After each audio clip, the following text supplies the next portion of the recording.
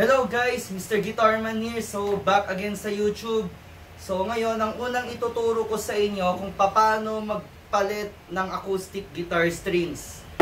So, ngayon, umpisa, pwede sa ano sa string nyo. So, ang gamit ko ngayon is Fender Acoust- Acoustic Guitar 11 na may bronze wound 011052.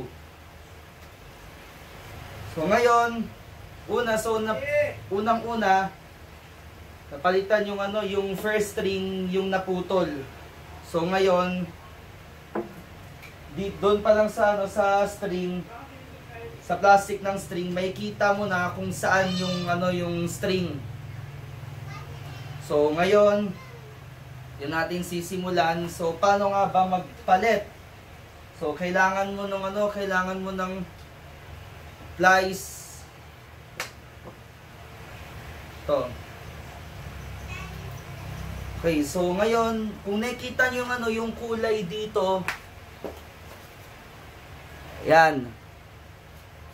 Lalagay, lalagay po yan dito sa may butas.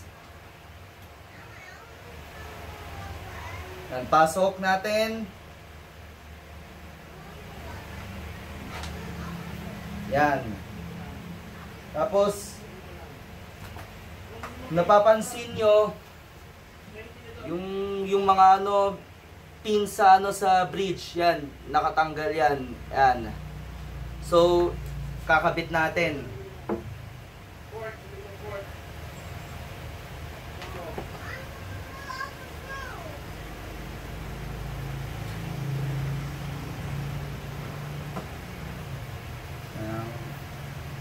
Okay so ito na guys Tapos, pinakadulo, lalagay natin dito sa may butas malap. Napapansin nyo guys, ito.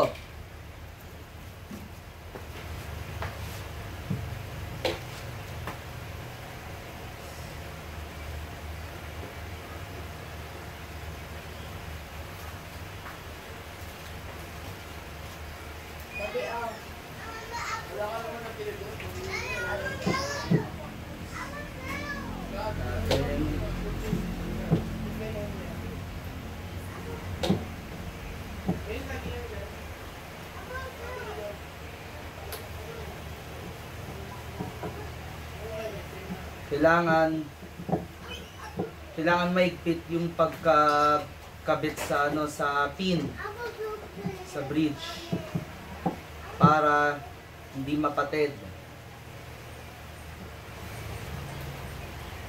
Yan, so okay na siya. Stansyain na lang.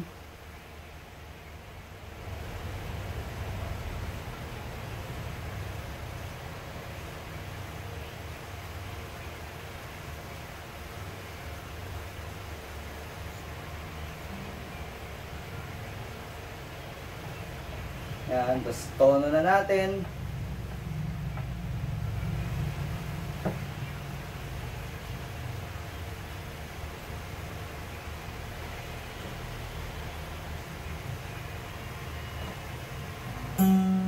So, mababa pa to.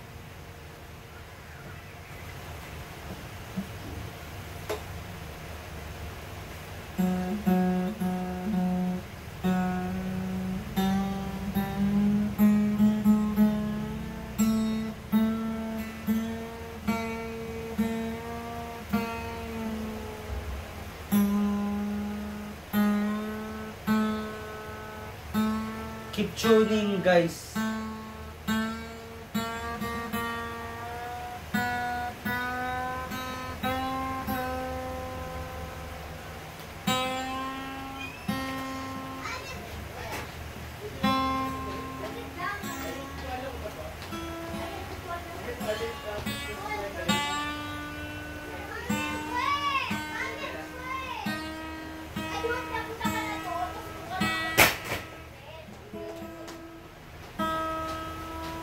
Pa.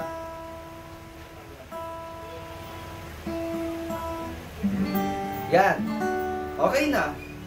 So, yun lang yung steps para magpalit ng guitar strings.